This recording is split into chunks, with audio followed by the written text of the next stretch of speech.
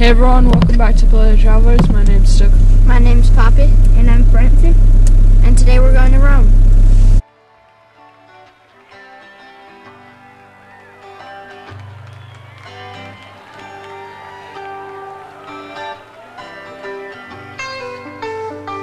And all the streets of Rome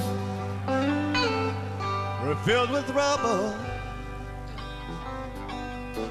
Ancient footprints were everywhere. Well, you could almost think that you see it double. On a cold, dark night on the Spanish Pier.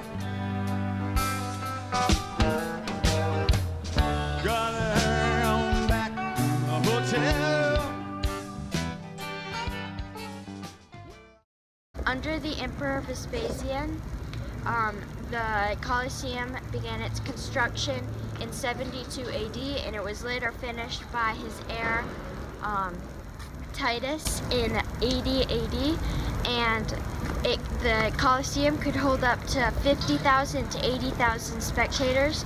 The shows would also would include gladiator fights, um, animal hunts, executions, and um, they would even fill the Colosseum up with water so they could have uh, mock naval fights. So we are sitting right here where the senators would sit, and which is right by where um, all the gladiators were. So all of these walls right here, these stone walls, there would be a platform over it, usually covered in sand, right? Yeah. And um, that's where all the um, like fights, uh, uh, gladiator fights would happen. And the stone walls, though, which are underneath, like the underground, would be where the animals are stored uh, that are in the gladiator fights, and, and also the gladiators, and um, it's for getting ready for their fight. This is over there where all the people are, or where the emperor sat, and then the um, level above them would be the um, rich citizens. Above them would be the um, townspeople, and then the next level up would be the homeless people, the slaves, and the women. We're in the Roman Forum right now. Um, it's a rectangular forum, which is also known as a plaza, and it's surrounded by many ancient government buildings.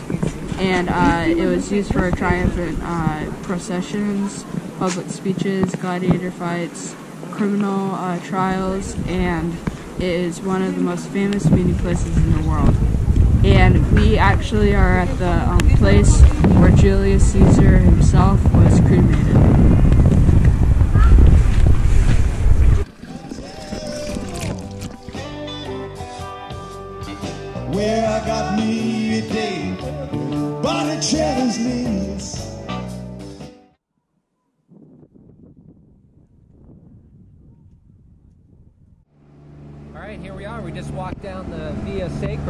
Which is the sacred path, which is the main road through the Forum.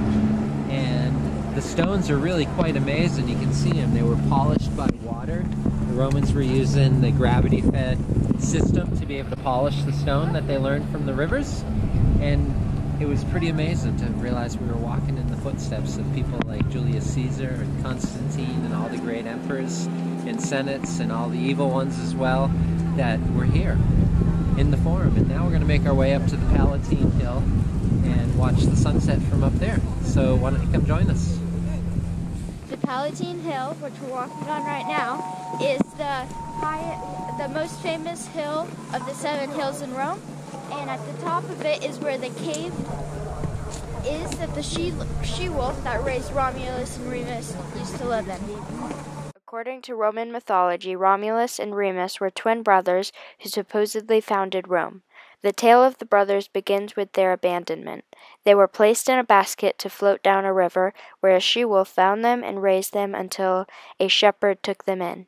As adults, Romulus and Remus wanted to build a city, but they had a disagreement on to where to build the city. The argument was so bad it resulted in Remus's death. Romulus continued building the city without his brother and ended up naming the city Rome after himself.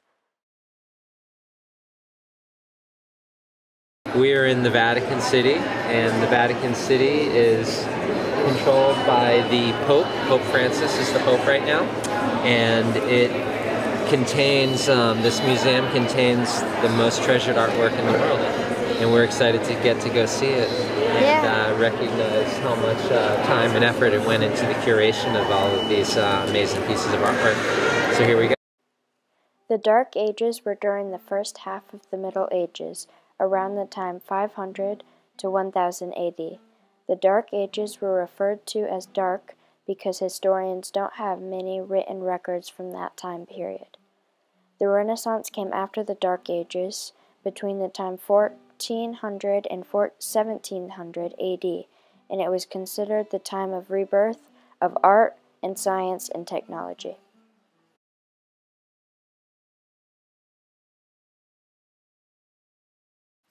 Here in the Vatican are the papal apartments. This is where Pope Julius II commissioned Raphael to paint the Stanza della Segnatura, which was the library. It is within these four walls he painted some of the most celebrated frescoes of the High Renaissance, between 1509 and 1511. The four walls represent the four pillars of human knowledge the philosophy, theology, poetry, and justice. My family's favorite wall was philosophy with the painting of the School of Athens. The image depicts the greatest thinkers, philosophers, mathematicians, and scientists sharing knowledge and teaching each other. It is in this room where human knowledge and the church are united through Raphael's exquisite frescoes. In the center of the painting is Plato and Aristotle. Plato on the left has his hand pointed to the sky or air. This, as we know by the book he holds, Timaeus, represents the ethereal, things that can't be seen or touched but are the absolute truth. The colors of his robe also show us his philosophy of the ethereal, as red represents fire and purple the air. It is notable that the thinkers on Plato's side of this beautiful geometric hall support this philosophy. Even the statue on this Platonic side is the god Ap- Apollo, who is the god of poetry and music, which personifies this idea of thinking. On Plato's right is his student Aristotle, whose palm is pointing to the earth, representing things that are more observable. In Aristotle's hand is one of his own books, The Ethics, which talks about things of the physical world that is the opposite of ethereal. Just like Pluto, Aristotle's robes, robe colors symbolizes what he studies, brown for earth and blue for water. The thinkers on the right, along with the statue on the right wall, is Athena, the goddess of wisdom and warfare. All of the above think as Aristotle and they learn and teach the actual.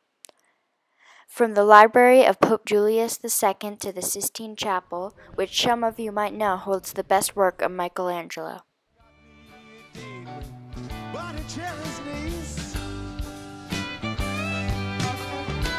She promised she'd be right there with me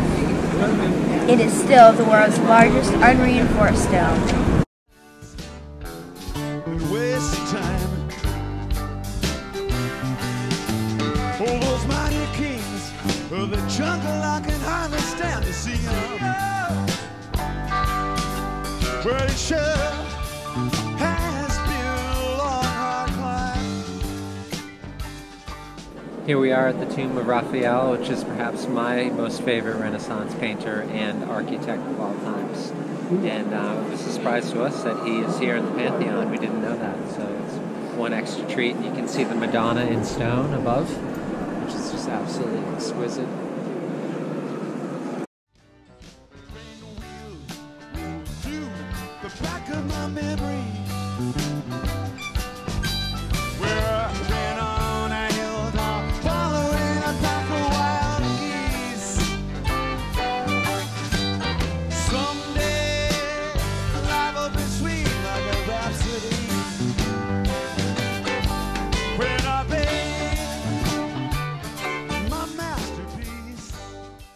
Piazza Novana was built in the 1st century AD. A piazza is an open place in the heart of a traditional town, also known as a town square. Piazza Novana in Roman times was called Cinque Gonades. It was an area where the ancient Romans used to gather to watch the games.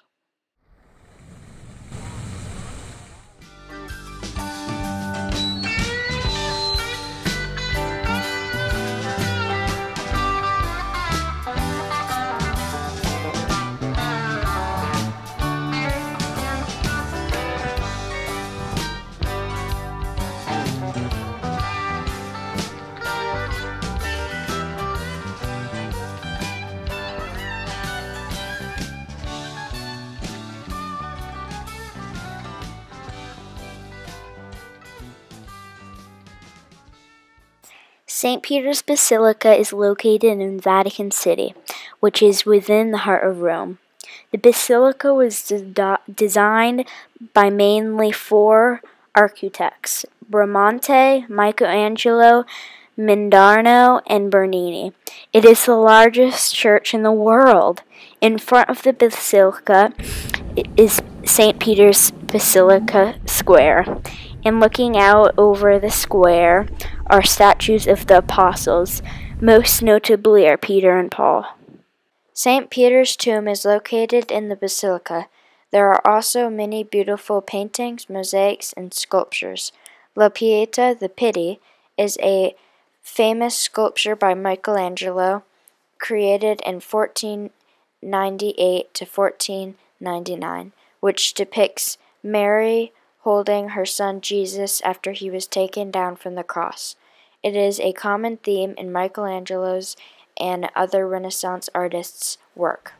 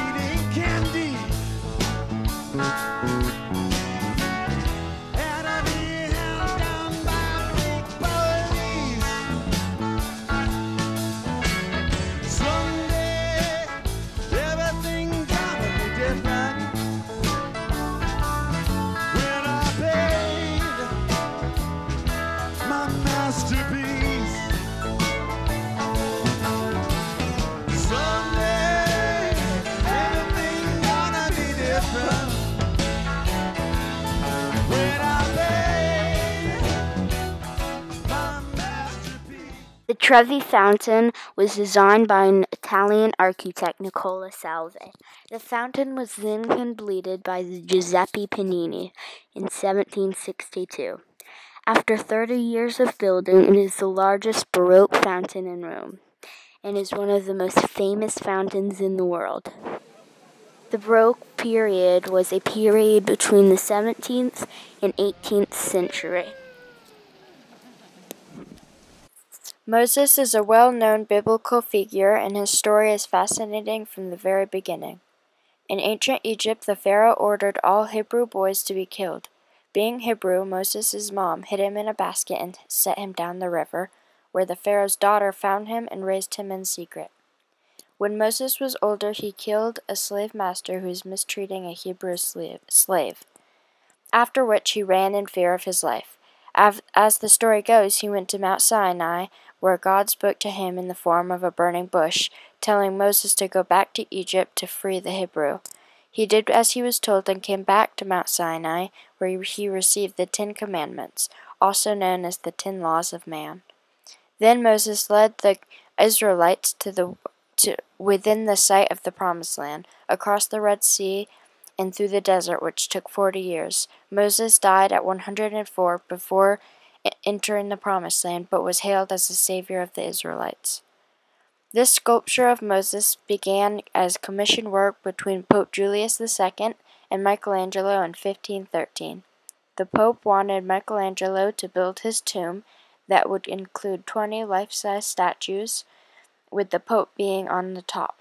Armed with only a chisel and a hammer, Michelangelo created this exquisite piece of art, Moses. In his right arm he is holding the stone containing the Ten Commandments.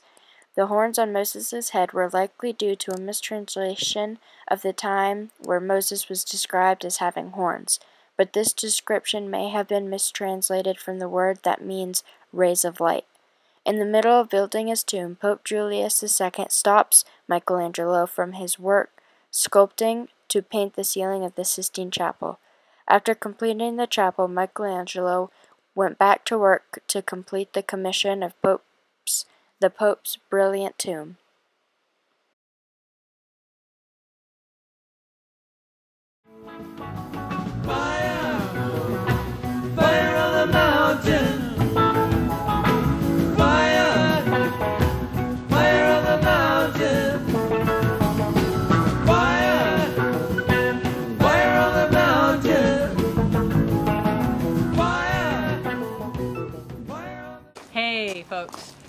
Are here in Pompeii uh, in a parking lot that is clearly multi purpose because it is full of orange trees. And uh, we're getting ready to tour Pompeii, uh, which happens to be in the Bay of Naples or Napoli, and where in 79 AD Mount Vesuvius erupted and covered Pompeii. Many of you know the story. So we're going to go check out the archaeological site and see what we can see.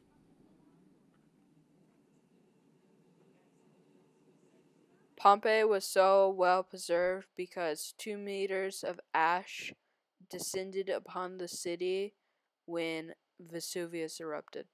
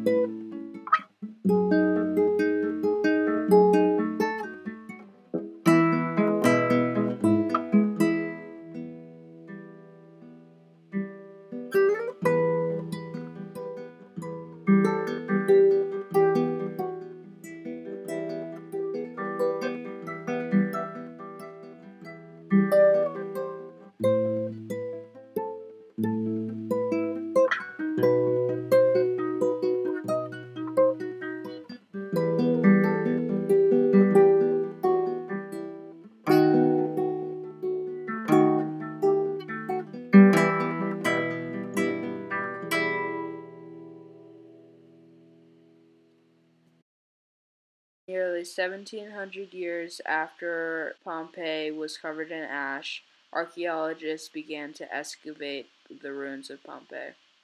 And while they were excavating, they found nearly 2,000 bodies and they were able to preserve some of them.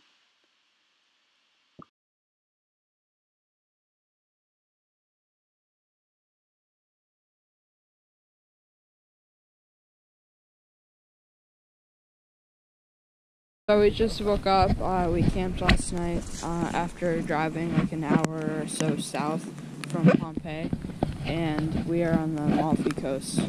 And it's raining na- right now, so I don't think we're gonna do any climbing today, sadly. But hopefully tomorrow.